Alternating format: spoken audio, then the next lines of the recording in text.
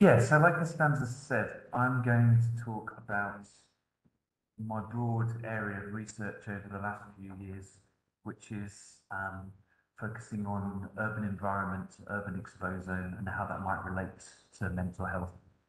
So I'm going to give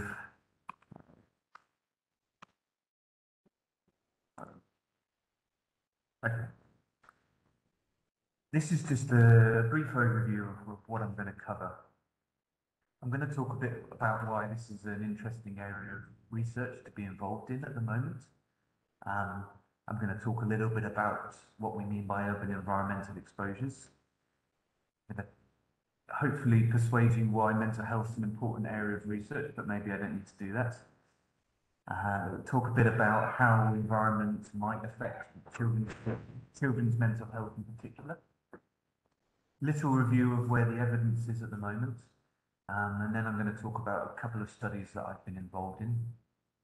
And then after that, I'm going to talk about some of the challenges of this type of research and then where, where I think maybe interesting directions to go next are. But before I start, I kind of want to know where everybody's knowledge and area of research is. Like, let's start with the exposures. Like, how many people are familiar with uh, urban environmental exposures, things like air pollution, noise, green spaces? Could I have a show of hands if these are familiar or people have worked with them? Okay, so about half. And, um, and what about mental health? Who's done any research with mental health outcomes or knows much about mental health? Okay, about half as well. I just want to pitch how much time I spend explaining different things, and I don't want to spend ages on something if it's super familiar. But if it's half and half, I'll spend a bit of time on both. So why is this an interesting area of research to be involved in at the moment? It's very popular. Um, this is a, a couple of graphs I put together which to just showing the number of publications. Yeah, yeah, that would be good. Take my phone out so I can see how long I'm talking for. 10 past 12. So this is the increase in the number of publications. I just did a search for air pollution and depression, green space and depression. So in the last few years, it's been an explosion in research. This is a really, really popular area of research now. Um, why is that? Well, partly it's because um, mental health is a massive global problem, as I'm going to come on to. I think it's also because there's more and more, there's really good, oh, it's back. Yeah, yeah, yeah, yeah, yeah. Um, there's a huge amount of data available now on mental health outcomes. So I worked with, with Costanza and others in um, the Athlete Project. Um, before that, we worked in the Life Cycle Project. And these are big EU consortia that have harmonized a lot of data on mental health outcomes and data on environmental exposures. So how much air pollution um, people in the birth cohort are exposed to, for example, or how close people live to green spaces. So this amount of, um, of data means that we can do lots of nice birth cohort research now, trying to see what the connections between these are. So I've talked about the urban environments. What do we mean by urban environment? Is we're thinking about the features of cities, the environmental features of cities that may, or other urban areas that may have an impact on human health. So one of these is air pollution. Um, as living in Torino, you're probably acquainted with a lot of air pollution. Um, and most cities actually have levels of air pollution, probably all cities have levels of air pollution which are well above the uh, recommended levels. Here I've got a statistic, 93% of children breathe air containing pollutants in the level excess of WHO guidelines. So air pollution is a massive problem and air pollution comes from lots of sources from industry. In cities, cars probably is the main source of air pollution. Um, and if you cycle around Torino, which you know some of you do, and I have done for the last six weeks, I can attest to the levels of air pollution. and again, coming back to cars, which are pretty much the problem for everything. Um, road traffic noise, again, a huge amount of um, people living in cities are exposed to levels of road traffic noise above recommended guidelines. And there's a huge variation in the access that people have to green spaces. So I don't know this the data, but for me, Torino's quite a green city, having lived in other cities. I, I feel like it's really green. You've got Valentino, Valentino Park, is that how you call it? Yeah. Super nice park, lots of trees. So Torino's quite a green city, but plenty of other cities have much, much less green space. Um, Copenhagen, where I work, has a lot of green spaces. Barcelona, where I was last year, I would say much less than Torino actually. Um, you've got a nice sea and some trees, but much, much less in the way of, of parks. So these are the aspects of the environment that we're interested in. And why are we interested in mental health problems? We're interested in mental health problems, especially amongst children, because it's a huge global problem. So Rates of mental health problems overall are relatively stable since 1990, but the specific um, disorders have changed. So the, the, specific types of mental health problems that affect children have changed. I've got a slide on that in a minute. And the latest data I found estimated about 12% of children suffer from a mental health problem, um, and that it, mental health conditions account for one of the highest, they're one of the highest causes of um, loss of disability adjusted life years. Um, and a lot of the, the, a lot of the loss of life comes from suicide and self-harm. So this accounts for quite a big chunk of disability adjusted life years associated with mental health outcome, with mental health problems. And here I've just got a graph about the, the different types of mental health problems that affect children. Um, not sure you can see here. You probably just about see. I mean, the thing that I pick out from this is, especially amongst boys, things like at young ages, things like conduct disorders are the, a big chunk of child mental health problems, which is children not doing as they're told, fighting. Um, but as children age, you see that actually this changes a lot, and drug use disorders, self-harm, become the main um, source of mental health problems in early adulthood. And for young men, especially, suicide is a massive problem. It is, I think, accounts for possibly the most deaths amongst uh, amongst young adults um, of all of all deaths due to suicide.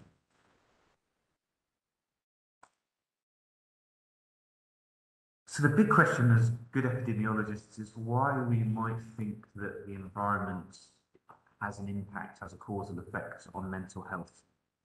And there's a few different mechanisms that have been postulated um, different exposure outcome relationships.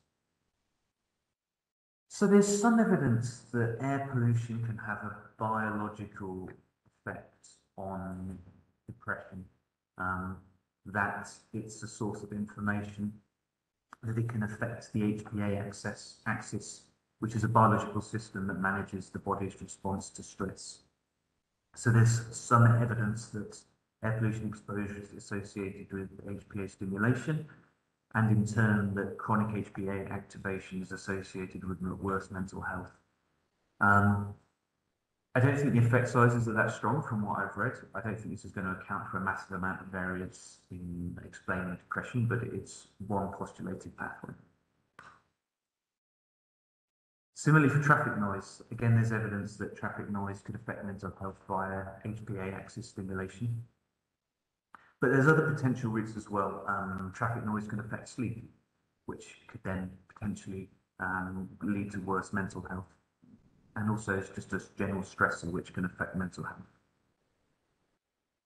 Although with noise, this is a digression, but I think that probably, with my psychologist hat on, actually noise more like antisocial noise from neighbours or people above is probably going to have a more detrimental effect on mental health because it's uh, intermittent and it has a sort of social aspect that you're lying in bed uh, trying to sleep and your neighbours are up until four in the morning. I think road traffic noise probably more get used to because it is a continuous um, kind of a continuous noise that you get used to. But these other types of noise are much more difficult to measure than road traffic noise. Nature and mental health. Again, this is a huge source of interest at the moment. Um, and I would say this is probably the pathway for which there's the strongest evidence that it may affect mental health. And there, there's a number of routes by which green spaces may be beneficial to mental health. Um, one is as a sort of as a source of stress reduction, um, and there's some evidence, some ideas that humans have an innate um, affinity to other species, and being around nature with high biodiversity, there's some evidence that's linked with lower self-reported stress. Nature gives opportunities to exercise. So again, this um, exercise has a pretty strong um, relationship with mental health. And if you live in a green space, then you have more opportunity to, to run, do other forms of exercise. But again, I think the quality of green space is important. I mean, you could live in a very unsafe field where you don't want to go and live near somewhere very unsafe, you don't want to exercise, or you could live near a beautiful park with lots of facilities. So again, this is harder to measure, but I think important. Now, this is something I know nothing about. Does anyone know about microbiota theory? And um, I mean, I'm, not going to put you on the spot by asking to explain. This is something that I've, I've, kind of come across in my reading, but it, um, it's not something that I know much about. But again, there's a theory that uh, increased biodiversity in green spaces can improve the immune system, and again, some evidence that microbiome and immune system is related to mental health my sense is that that last link, the evidence isn't super strong, but I'm prepared to be corrected by anybody who knows more about this than me. Another way that green spaces could impact mental health and the forms of health is that generally they have lower uh, levels of air pollution. If you have a park and you don't have roads in it, then you're not going to have emissions from road traffic. So this is this is one other mechanism.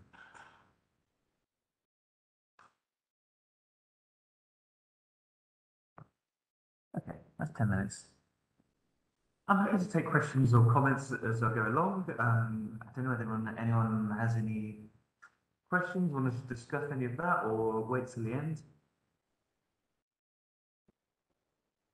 Okay. So what is the observational evidence for associations between these exposures and mental health?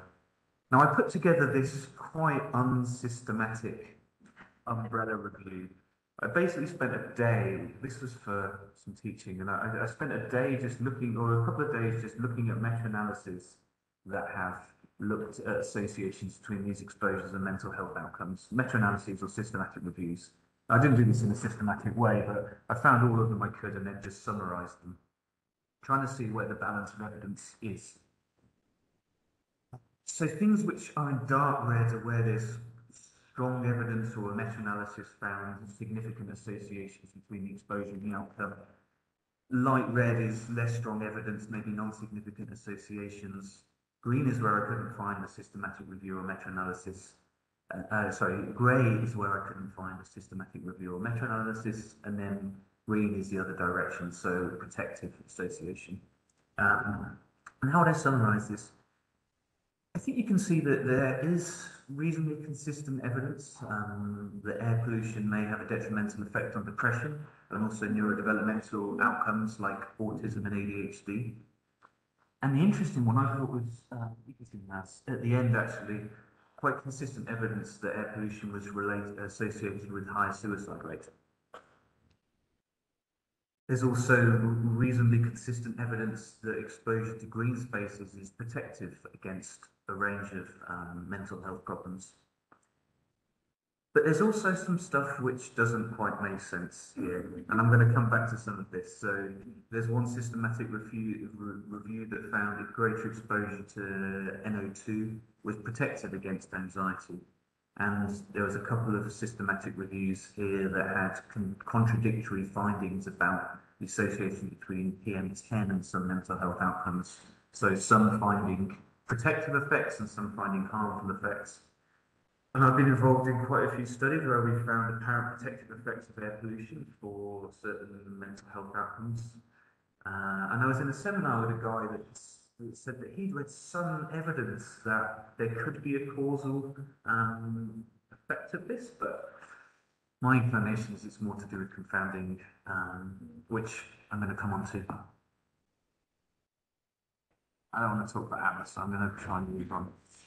And also other, other outcomes where there's just no evidence at all. So things like psychosis and bipolar, which are you know, more severe um, types of mental health problems, very little evidence about how the environment might affect these. Okay, so I'm going to talk about a couple of studies that I've been involved in, which have been trying to study associations between some of these exposures and mental health outcomes. So the first one, which we submitted last week and hasn't bounced back yet, so maybe it went out to review, which would be nice, um, submitted to quite a nice journal, was looking at associations between different aspects of the urban environment and postpartum depression. Oh, and Karen and Elena are involved in this.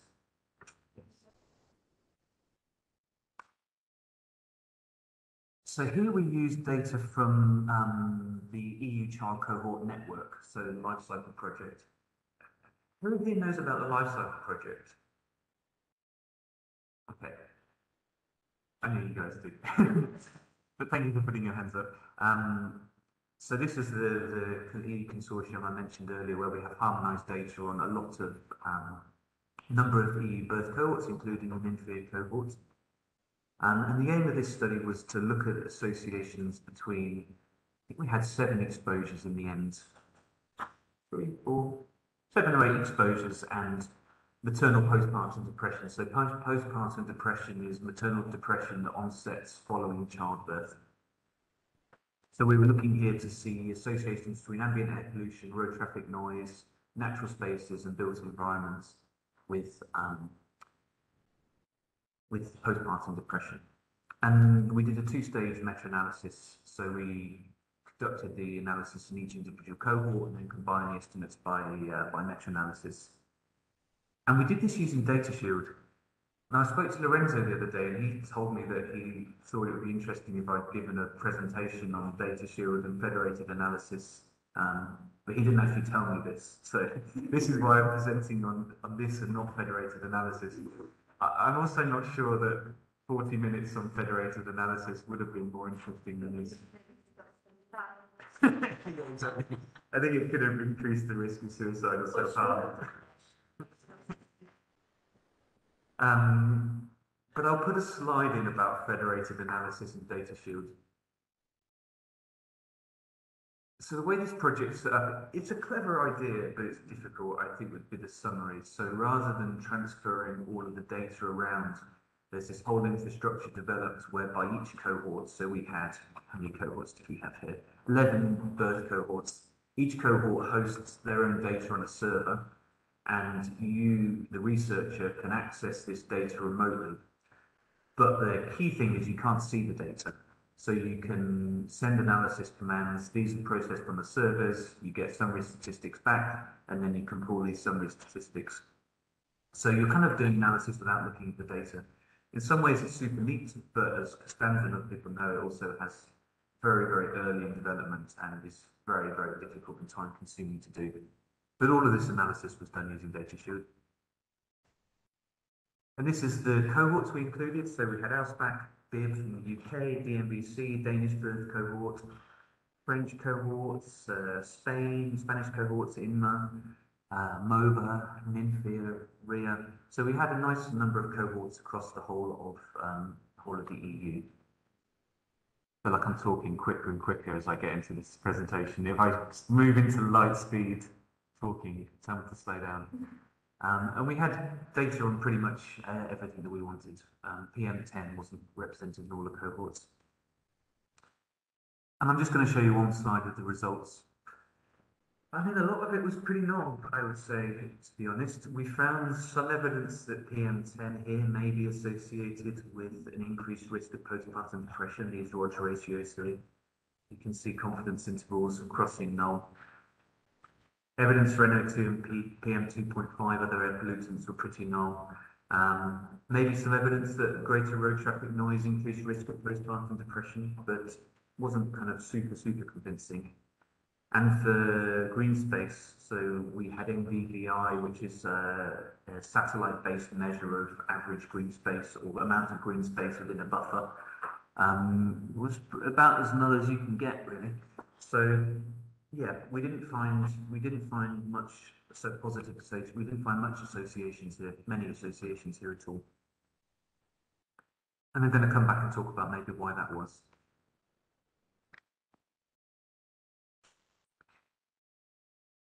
I'm going to touch briefly on another project I've done, but then I really want to talk about some of the methodological stuff, um, which I think is interesting in this area of research.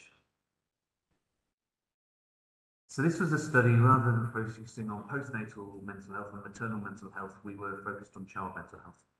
Um, and the approach is, which we haven't finished yet, was to do an exposure-wide association study. So rather than just selecting a priori a few exposures, we're going to take 30, 40 exposures. We're going to take all the exposures and we're going to see how they associate with child mental health. And then we want to do some sort of variable selection, dimension reduction.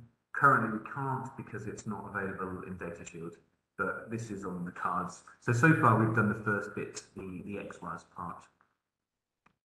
And the, the cohorts were similar cohorts to the previous study, so looking at child mental health outcomes rather than parenting. And this is uh, a plot showing associations between each of the exposures and um, this is externalizing. So this is internalizing, so like anxiety, depression.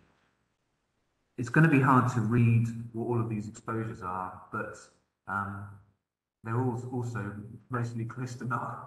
They are all um, all the confidence intervals, or almost all the confidence intervals are overlapping with zero.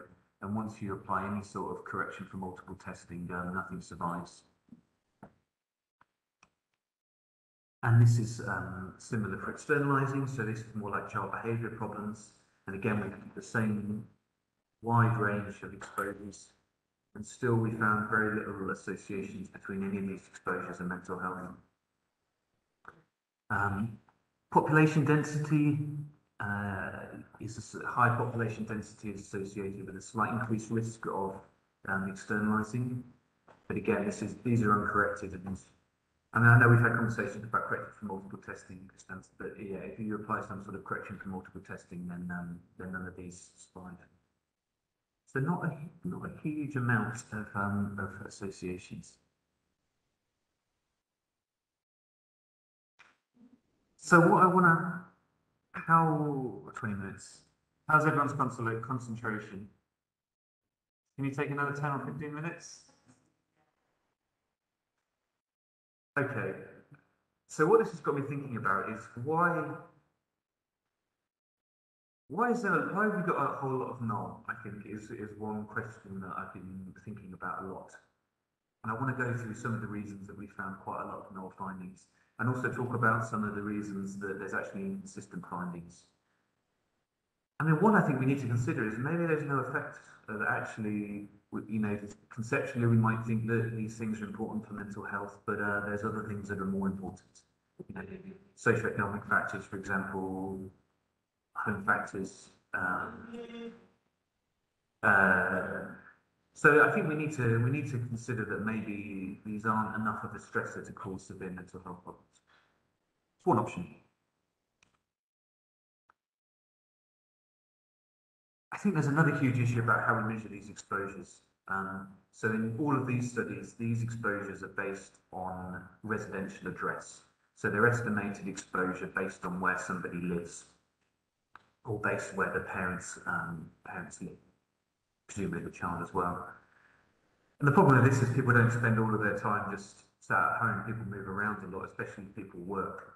So we might have a lot of exposure misclassification. It's quite a crude measure of people's actual exposure to all of the things that we're talking about, um, like air pollution. Um, you know, the green space measures that we use, we don't have much information, at least in these cohorts, about, like I said, the quality of green spaces, the safety of green spaces, so I still think, even though amazing work's been done on exposure classification, it's quite crude.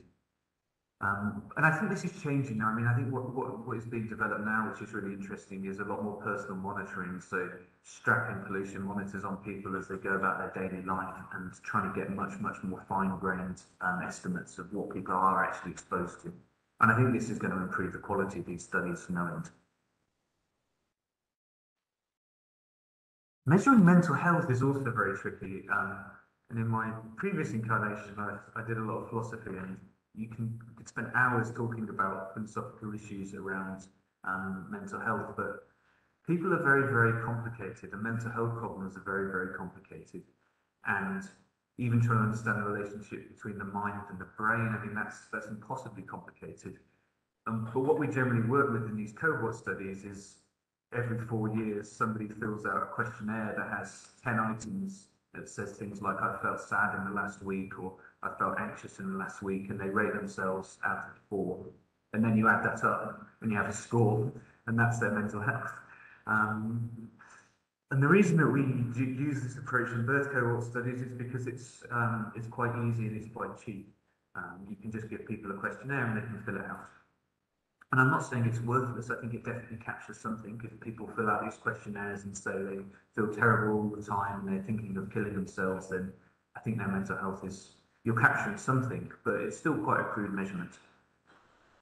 Now, there are alternatives. You can use structured interviews, which are much more lengthy and probably get more information on mental health outcomes, but they're a lot more expensive than if you have a cohort of 15,000 people and you trying to conduct 15,000 interviews, which you need a psychologist or trained rater to do. I mean, that's incredibly expensive. So it's very hard to get that level of data. You can also use registry-based data. So in uh, Scandinavia, they've got lots of nice registry-based data. But there's, again, problems with this. I mean, one is an issue of selection bias that it's there's selection into who accesses services and there's socioeconomic factors that affect who actually access services. So these aren't necessarily an unbiased um, estimate of mental health problems or an unbiased measure of mental health problems. And they also only capture the most severe end of the distribution of mental health. You can also do qualitative research, which I really like, but again, it's quite hard to fit qualitative research into this sort of quantitative paradigm that we're working within. And actually confounding, I mean, I think confounding is a huge issue in these studies, and this is what I'm going to finish by talking about. Um, I mean, this isn't, this is just a few simple boxes, but your socioeconomic circumstances affect massively where you live because they affect what you where you can afford to rent or buy a property, and where you live it massively affects your air pollution exposure. And we know that your socioeconomic circumstances massively affect your mental health. So I don't need to explain confounding to epidemiologists, but I think this is a massive, massive problem. And whilst we still adjust for it, I, still, I think it could potentially explain some of the um, some of the null findings. It could potentially explain some of the null findings because um, in some, it's very heterogeneous, heterogeneous, heterogeneous. It's very different between cities. Um, some cities, if you're rich, you live in areas with lower air pollution, and some cities, if you're rich, you live in areas of high pollution. Um, with some cities, you know, the most desirable areas are right in the centre where you have higher levels of air pollution. So it's not necessarily the case that poor people are more exposed to exposed to air pollution. So I think this differential effect and this differential confounding could explain some of the inconsistent findings. Okay, I'm going to finish with uh, some few thoughts. So what I started thinking about recently is, okay, there's really nice, um, lots of people have done really nice causal inference designs not so many of them have been applied to environmental epidemiology and fewer still have been applied to mental health research and environmental epidemiology. So I started thinking and I put a grant application together about how, what some of the causal inference methods are that maybe we could use and how we could apply these to environmental and mental health research. I'm, I'm, I'm going to go over a few, but this is this I'd be really interested to get some of your thoughts on. So one thing I thought we could try is using a neg negative outcome control. So negative can probably most of you know negative control designs, but just uh, go over briefly. They evaluate the influence of confounding by conducting parallel analysis between the exposure of interest and a separate outcome, which is a negative control outcome. So you select an outcome on the basis that it's likely to have the same uh, confounding structure as the relationship between your exposure and outcome of interest. But there's no plausible mechanisms by which the exposure could cause the negative control outcome. Now, the tricky thing is to try to think of what a good negative control mm-hmm. outcome is, could be. Now, what I've put here, which I'm really interested in your thoughts on, is whether you could use unhealthy child diet as a negative control outcome.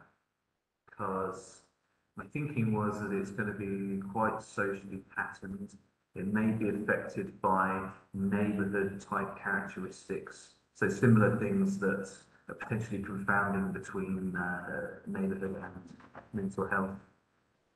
But say for air pollution, for example, I couldn't think of any plausible mechanism by which exposure to air pollution could cause children to have an unhealthy, a less healthy diet.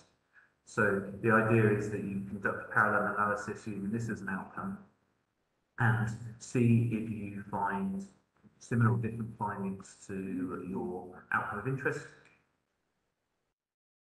It's an idea. I'd be interested to see what you think about this. So, so negative outcome controls or one if you can think of a good one. This is a nice paper by Alessandra Palma, who's Italian. I don't. Know. I'm just assuming because you're Italian, maybe you know Alessandra Palma. Um, this is by somebody called Alessandra Palma. Um, she did a really nice study which was using rainfall as an instrument for air pollution.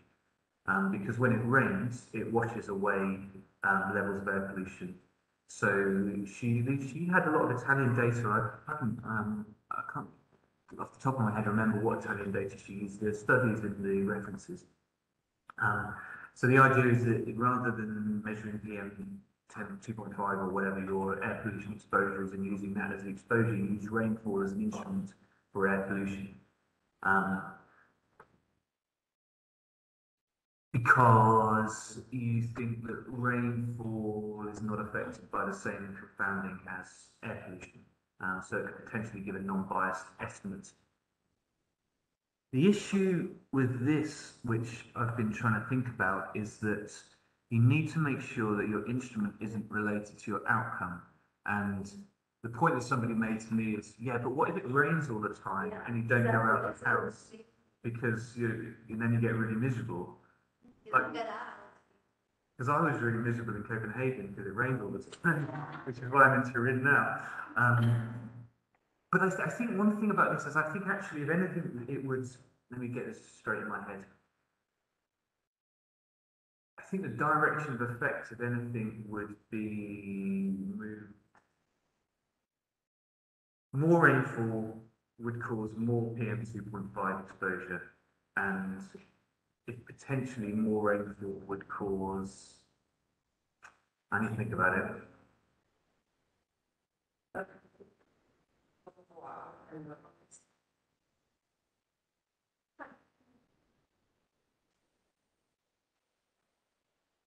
That's interesting.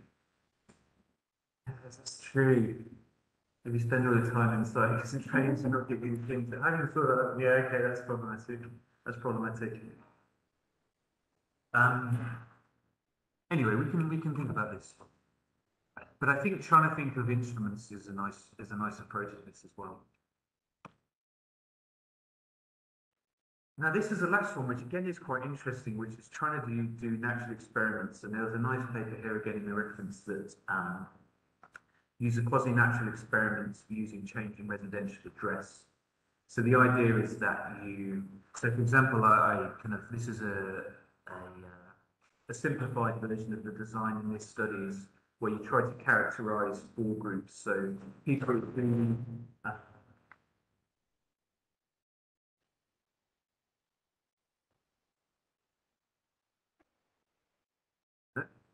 you try to characterize four groups. So people that start off living in areas of higher pollution and move to higher areas of higher pollution, people who start off living in areas of higher pollution and move to areas of low air pollution. And then you can do the converse. People start doing low pollution, move to low and low to high.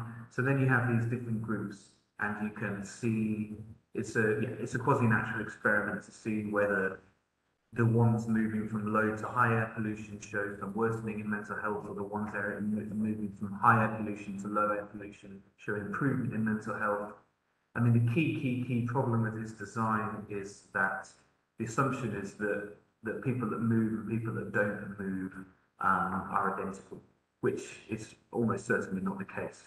So then in this paper, they applied some sort of uh, propensity score matching to try to match the movers with the non-movers.